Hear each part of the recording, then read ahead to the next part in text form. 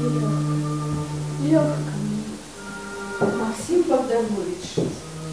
Його все як світло свячи, як падающая зорка, коротеньким мгновенням промелькнуло на земле, Промелькнуло, а не не згасло. Життя Максима было таким коротким, але таким узнеслым, что своей веселкой охинула весь небокрай нашей белорусской культуры. Яго называюць песняром радзімы, паэтам красы і гармоніі, волатам нацыянальнага адраджэння, нязгаснай зоркай. Максім зрабіў для свайго народа і радзімы тое, што не пад сілу зрабіць многім і за стагоддзі. Яго славутая пагоня, велічная ода пра пакарэнне адрачэнцаў. Верш, у якім кожны радок звініць, як напятая струна. Толькі ў сэрцы трывожным пачую за краіну радзімую жах. Вспомню вострую браму святую і ваякаў на грозных конях. У белой пене проносятся кони, рвутся, мкнутся и тяжко хрипять. Стародавней литовской погони не разбить, не спынить, не стрымать. И опошние строчки в этой поэме.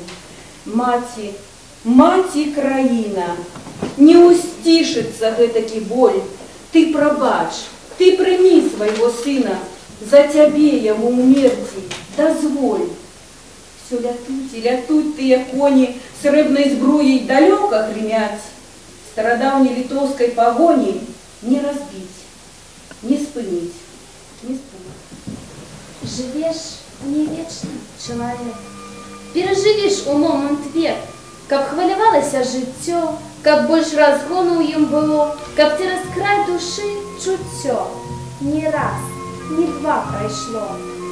Жыві і цельнасці шукай, аб шыраце духоўнай дбай, і ў напружэнні паўнаты свайго шырокага жыцця без болю ціха зойдзеш ты у краіну забыцця.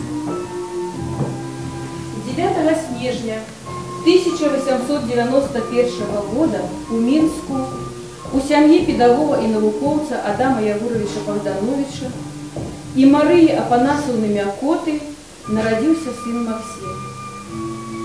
Пазней сям'я перабралася ў Гродна, а пасля смерці ад туберкулёзу маці у Ніжні Новгород. Там Максім вучыўся ў гімназіі, закончыў адукацыю ў гімназіі Ярослаўлі і дэбютуе як пісьменнік у 1907 годзе в газеце Наша Ніла з апавяданнем музыка. Яно гэта апавяданне сёння не прыгучыць, а паслухайце, калі ласка, вершы з яго паэтычнага зборніка вянок. Ведай, брат малады, што ў грудях у людзей сэрцы цвёрдыя, быццам з камення. Разаб'ецца аб іх слабы верш заўсягды, не збудзіўшы святого сумнення. Трэба сталі каваць, гартаваць гібкі верш, абрабіць яго трэба з цярпеннем.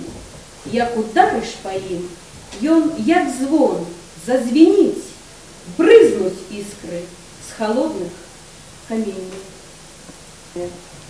Паэт добра усведамляў, што ідзе працэс шліфавання беларускай мовы і быў перакананы, што трэба выкарыстоўваць і скарбы беларускага старадаўняга пісьменства і жывую гаворку беларусаў.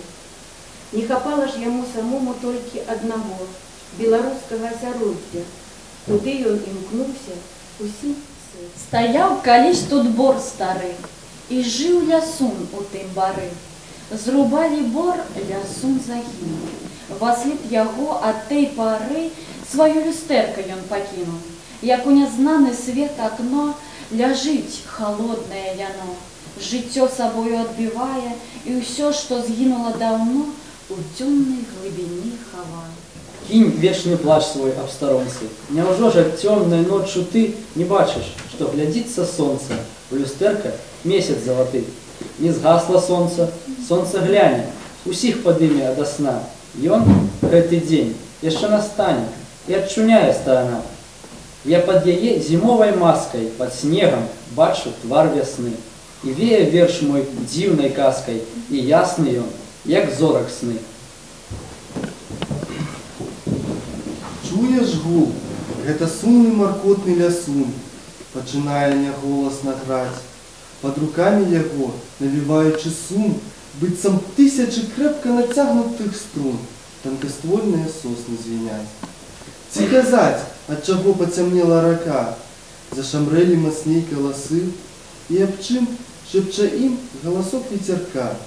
Што зіяе дрыжыць на лісцёк хлазняка, каплі слёз ці халоднай расы. Читаешь гэтыя творы, и перед тобою быццам паўстае беларуская зямля со сваім хараством і таямніцамі, старымі барамі, цёмнымі пушчамі.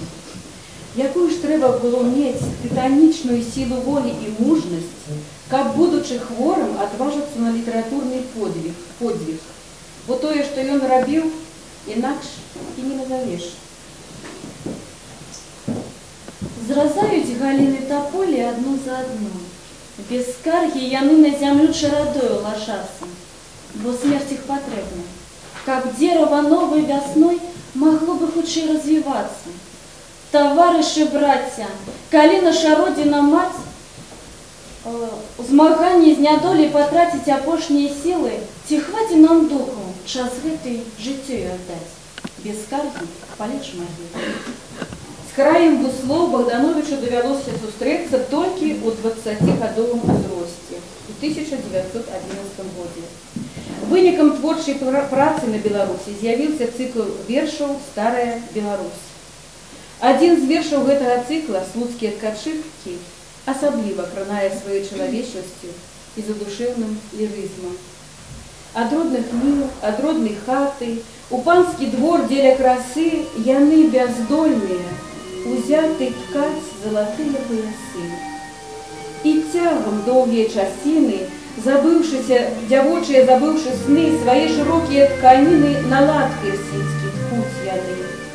А за сцяной смяецца поле, сінее неба з акна, і думкі мкнуцца міма волі, туды, где расцвела вясна, где блішча збожжа ў яснай далі, сіеюць, сія, сінеюць міла василькі, холод, холодным срэбрам зяюць хвалі між гор ліючайся ракі, цямнее край зубчатый бора, і тчэ забыўшыся рука заміж персідскага узора цветок радзіны. Василька. У 1911 годзе паэт, як ён казаў сам, веў, меў вялікае шчасце. Ён пабачыў бацькаўшчыну і прыехаў на колькі дзён у яе старую сталіцу вільню. З незвычайнай радасцю пераказваў тут паэт сваім зна- знаёмым, што гэта было для яго за шчасце. Бо далёкая нязнаная бацькаўшчына Беларусь неяк дзіўна чаравала яго і вабіла да сябе ад таго часу, як ён пачаў жыць свядомым жыццём. Самае імя яе будзіла ў душу, па- душы паэта дзіўны стан і здавалася яму, што вось-вось брызнуць слёзы з яго вачэй. Беларусь, твой народ дачакаецца залацістага яснага дня. Паглядзі, як услот разгараецца, сколькіх марках залётных агня. Ты не згаснеш, ясная зараначка, ты яшчэ асвеціш родны край. Беларусь моя, краіна браначка, стань, свабодны шлях сабе шукай.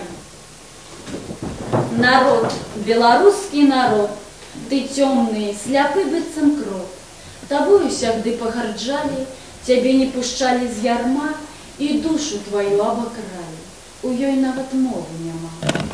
Збудзіўшыся ад грознай бяды, увесь поўны смяротнай жуды, ты не вольны крыкнуць ратуйце, і мусіш ты дзякуй крычаць. Пачуйце жа гэта, пачуйце, хто ўмее з вас сэрцам чуваць. Упарта і няспынна высякаў ён са сваіх слабых грудзей гарачы агонь пачуццяў. Не трэба ісці ў чужыя людзі, шукаючы глыбокіх і трывожных дум чулага і хвалюючага пачуцця. Душу радуючай красы. Не трэба, бо і ў саміх ёсць, пісаў паэт. Хто скажа, дзе мог жыць Максім Богданович летом 1911 года? Не ведаем. Але зразумела адно. Беларуская мясцінка для Богдановича мела такое ж значэнне, як Болдзін для Пушкіна. Зорка Венера взошла над землей, Светлые згадки с собой привела. Помнишь, коли я споткалась с тобой, Зорка Венера взошла. З гэтай пары я пачаў угля- углядацца у неба дашное і зорку шукаць. Ціхім каханнем к табе разгарацца, з гэтай пары я пачаў. Глянь, інший раз на її у розстанні, там ми зільемся погляди свої. Как хоть на миг у воскресло кохання, глянь інший раз на її. Максим Богданович падаў свой паэтычны голас у нялёгкі час, калі беларускі народ быў так моцна і бязлітасна прыгнечаны, што здавалася, ужо немагчыма абуду- абудзіць яго душу і ўратаваць мову.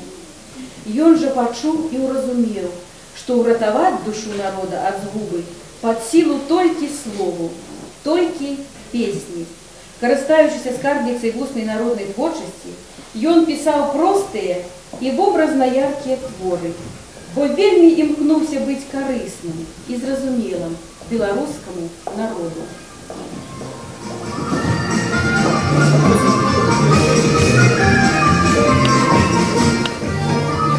Ай, Лявоніха, Лявоніха моя, Спомяну тебе ласкавым словом я, Черный пух твоих загнутых бревенят, Бочки яркие, веселый их погляд, Вспомяну твою рухавую постать, Вспомяну, як ты умела целовать. Ой, Лявоніка, Лявоніка моя, у тебе полубёскику моя, Знала ты, як запросить, почувствовать и даже слово доброе сказать, И разважить, мульку звеселить, а часами и до сердца притулить. Ой, Лявоніха, Лявоніха моя, дай же Бог тобі довжейшого життя, дай на світі сумним радосно прожить, всіх вокол, як веселіла, веселіть, а хай ніколи не забуду тебе я.